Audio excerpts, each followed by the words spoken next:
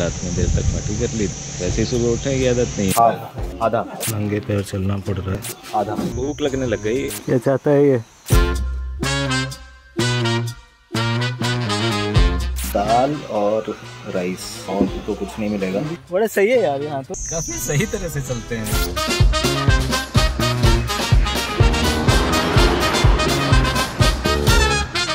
Location तो काफ़ी सही है यार। म्यूज़िक व्यूज़िक भी चला रखा है लोगों ने। सेटल होके फिर आते हैं। सीजू में सिमसंग रिवर के किनारे एक रात बिताने के बाद आज मुझे तुरा की तरफ़ वापस लौटना है।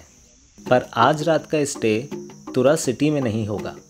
आज रात का स्टे होगा नौकरे के एक छोटे से गाँव में। और वो एक्सपीरियंस मैं आपके साथ शेयर करूँगा अगले वीडियो में। जहाँ रुका कल में रात में।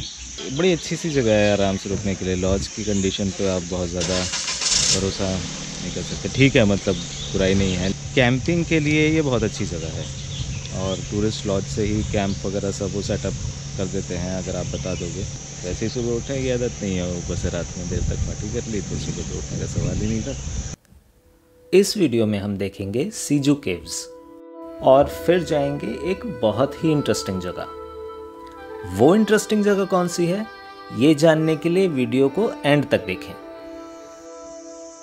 दिन की शुरुआत होती है सीजू केव से, जो दुनिया की सबसे लंबी केव्स में से एक है।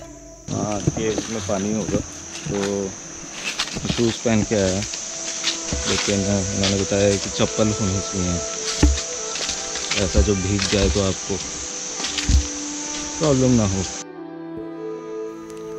अमेजिंग बात यह है कि ये केव्स कितनी लंबी है, इसका अभी तक सही अंदाज़ा नहीं लगाया जा सका है। और ऐसी केव हमारे अपने देश में है, ये तो बहुत ही कम लोगों को पता है।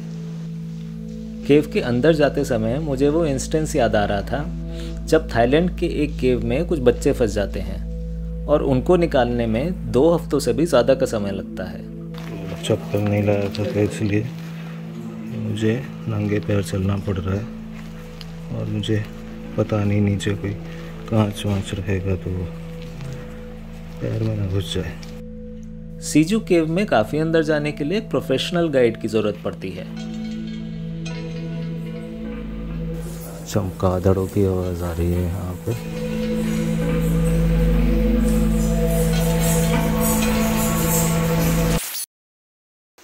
और मैं अभी कोई एडवेंचर करने के मूड में नहीं था। तो मुझे वापस बाहर आना ही ठीक लगा।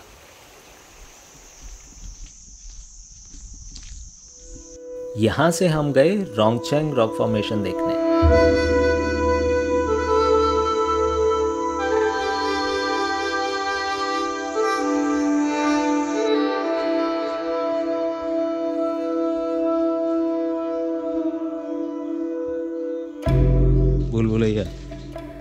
ये रॉक फॉर्मेशन देखकर आपको ऐसा लगेगा जैसे ये हम ह्यूमंस ने बनाई है। पर ये पूरी तरह नेचुरली मेड है। थोड़ी देर यहाँ रुकने के बाद हम चल दिए अपने अगले पड़ाव की तरफ़।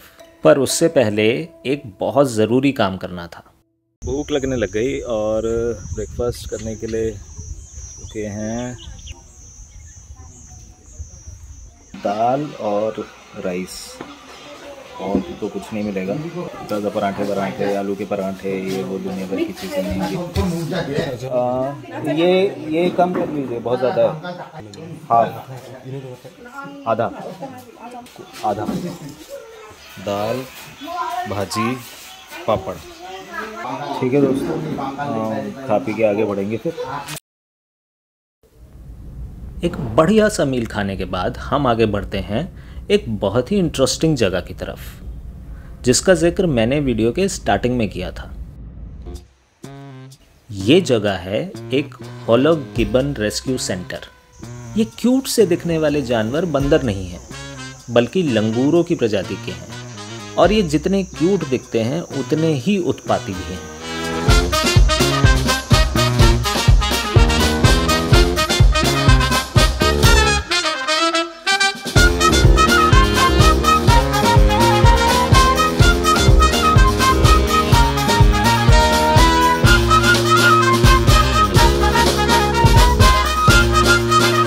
होलॉक गिवन एक एंडेंजर्ड स्पीशीज़ है और इंडिया में केवल नॉर्थ ईस्टर्न स्टेट्स में ही पाए जाते हैं। पिछले कुछ सालों में ऐसे ही कंजर्वेशन एफर्ट्स की वजह से इनकी संख्या कुछ बढ़ी है जो कि एक अच्छी बात है। बड़ा सही है यार यहाँ तो यहाँ आना चाहिए। काफ़ी सही तरह से चलते हैं। तो मैंने पहले नहीं देखे थे यहाँ से आगे हमने पहुँचना है अपने नाइट स्टे की जगह पर। और वो हम देखेंगे नेक्स्ट वीडियो में। तब तक के लिए गुड बाय